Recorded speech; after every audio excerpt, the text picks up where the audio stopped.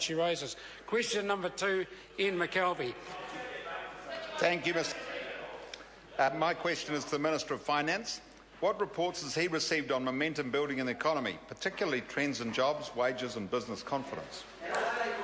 Honourable Bill English. Speaker, Treasury has released its monthly economic indicators for February, which indicates that the positive momentum in the economy in the September 2013 quarter appears to have continued into the December quarter. The number of people employed increased by 66,600 in 2013.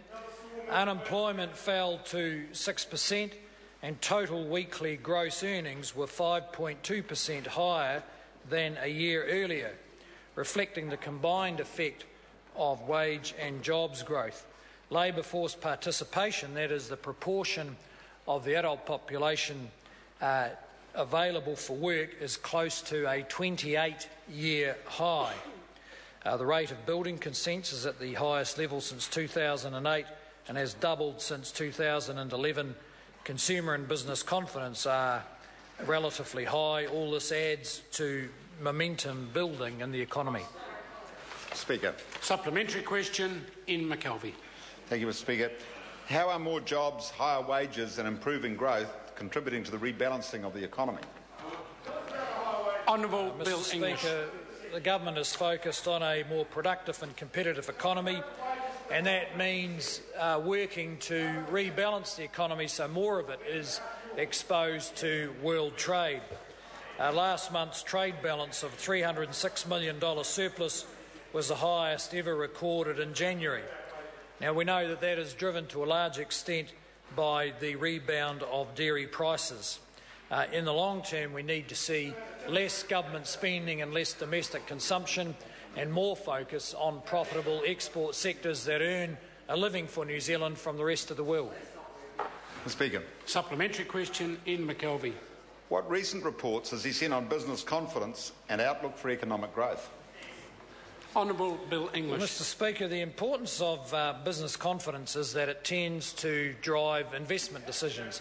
So when business is confident about the future, it's more likely to borrow the money uh, or raise it from other sources and invest uh, in the plant and equipment and the opportunities for more higher paying jobs. Without that confidence, we won't get the investment and the better paying jobs. The ANZ survey uh, in its business outlook shows that 71% of firms are optimistic.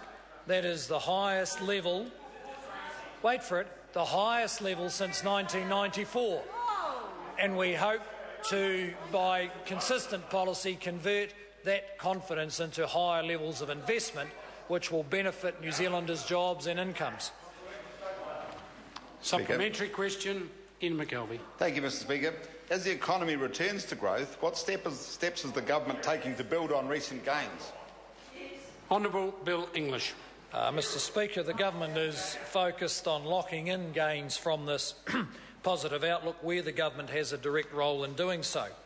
Uh, last week we confirmed the adult minimum wage would increase to $14.25 an hour from $13.75 an hour.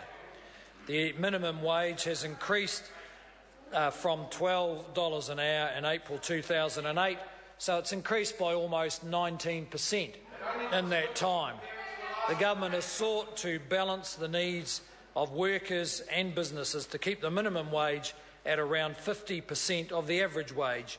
And that relationship of a minimum wage at 50% of the average wage is the highest in the OECD. Question number three, Honourable David Parker. Thank you, Mr. Speaker.